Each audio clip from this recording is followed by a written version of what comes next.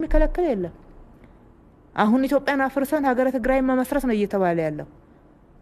ኢትዮጵያን ማፍረስ አያስፈልግም። የትግራይ መንግስትን ለመመስረት ትግራይን ሀገር ለማድረግ ካስፈለገ አሰራር አለን፣ ህግ አለን። በህግ መሰረት ሄዶ ትግራይን በህዝበ ውሳኔ መመስረት ይችላሉ። ለምንድን ነው መከላከያ ማፍረት የሚያስፈልገው ትግራይን ሀገር ለማድረግ? ለምንድን ነው የኢትዮጵያን ልጆች የኢትዮጵያን ነጻነት የኢትዮጵያን ድንበር በተለይ ከማንም በላይ ደግሞ ትግራይን ሲጠብቁ የነበሩትን እነኛን ጀግኖች አጋድሞ ማረድ የመጣው? እነሱ ላይ ቦምብ በመወርወር መረሸን ለምን መጣ?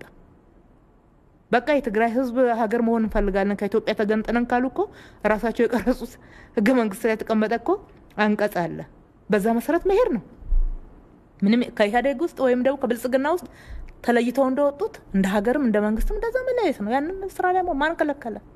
ማንም አልከለከለም። ስለዚህ ፈጽሞ የብሔር ጥቃት የሚባል ነገር